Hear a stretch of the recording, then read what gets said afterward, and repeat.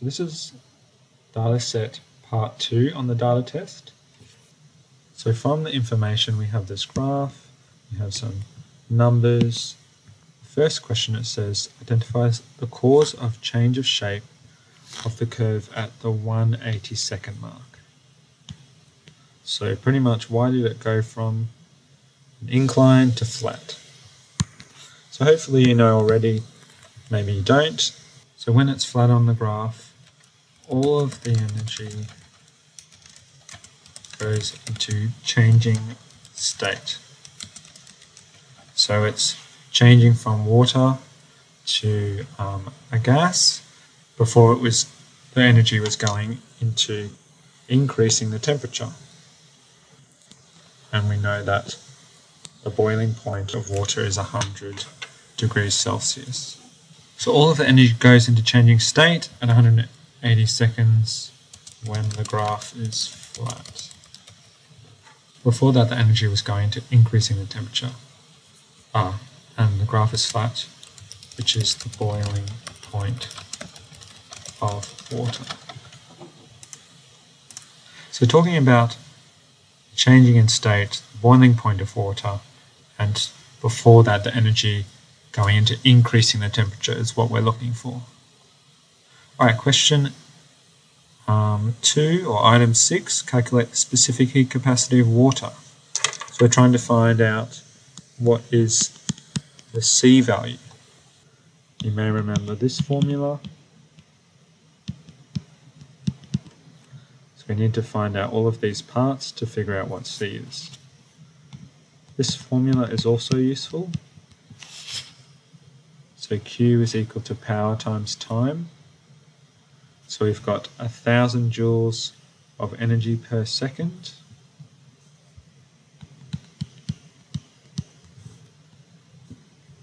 And the change of temperature is from 0 to 150.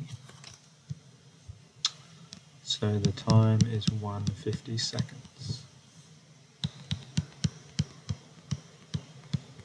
So that's the total power, uh, that's the total energy going into the water to change the temperature.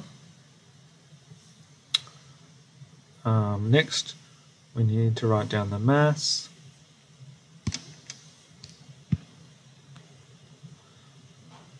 So let's have a look. Where's the mass? We have this, is 500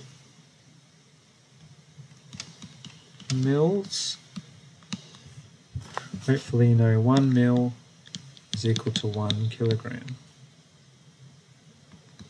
So this is 500, ah sorry, 1 gram. And we want it in kilograms. So that's our mass. Next we need the change in temperature. So the, the constant steady upward change in temperature goes from 25 to 95 and then it flattens out at 95. So that's delta so that's delta T. Final temperature minus initial, which is 95 minus 25.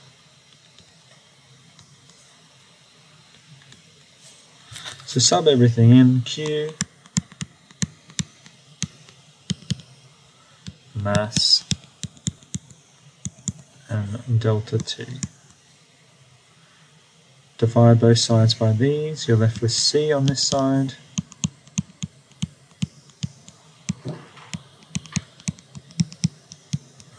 And type it into your calculator.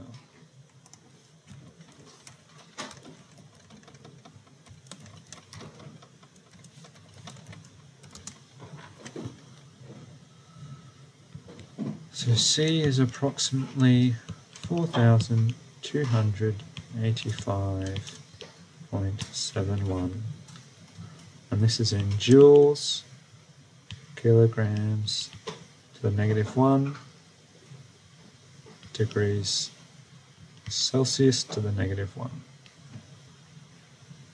That's the units for C.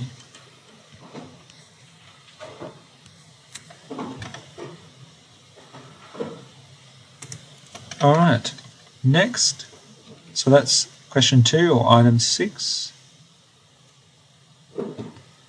Next, identify whether the claim was supported by the evidence. So the claim is temperature change of fixed mass of water is directly proportional to the quantity of heat. So as the temperature increased, um, the quantity of heat inside the water also increased.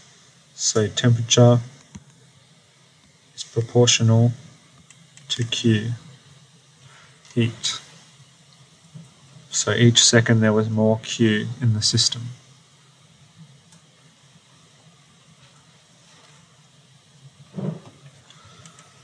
So the claim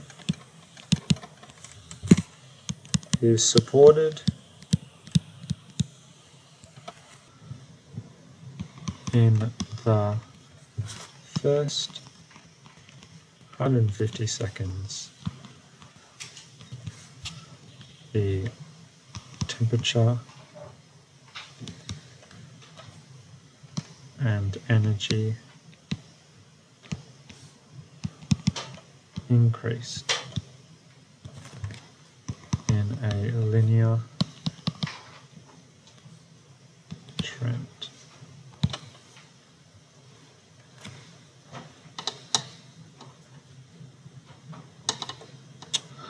Alright, next, predict the effect of using half the volume of water in the experiment by sketching the shape of the graph. So, half of 180 is 90, and then it will flatten out.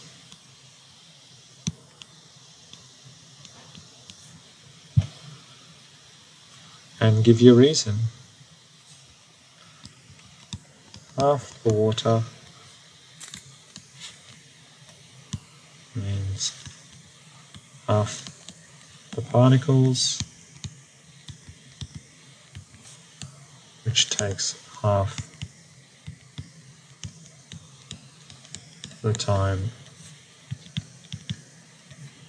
to heat up to boiling point.